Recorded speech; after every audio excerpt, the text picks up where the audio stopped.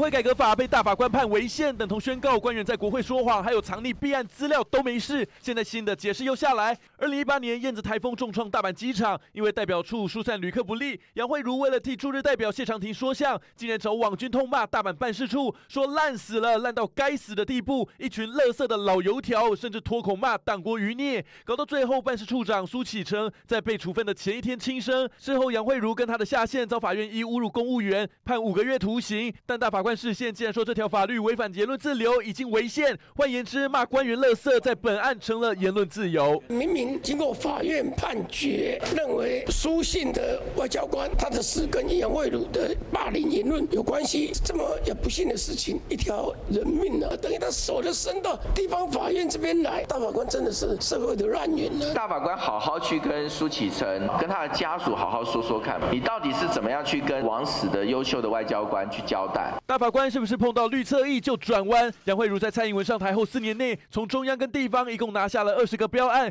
总金额高达八千三百万元。网友火大怒轰大法官，让官员可以在国会说谎，让侧翼可以骂人、乐色都没事。大法官的绿色言论自由果然与众不同。我真的是很难想象，掌握国家的宪政角色的大法官，竟然会公然告诉大家，官员在国会说谎是天经地义，你不可以处罚说谎官员。大法官到这种程度。这就是今天这些大法官让人家觉得不耻的地方啊！当大法官视线凌驾民意之上，国会该怎么反制？有蓝委严拟修公投法，将来大法官如果做出类似像废除死刑的视线，可以靠公投来推翻法庭的裁判。如果你犯众怒，违背民意，老百姓有出来讲 no 啊，啊，否则来讲大法官是神啊。从废除死刑、国会改革案到策应辱骂官员案，大法官的视线难服民心。记者钟成良、王志恒，SNG 小组台北采访报道。道。